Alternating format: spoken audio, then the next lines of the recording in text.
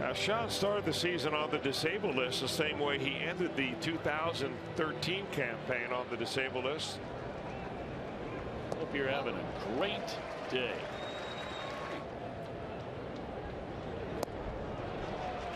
Got him swinging for the second out of the inning. And a swing and a miss, and Marshall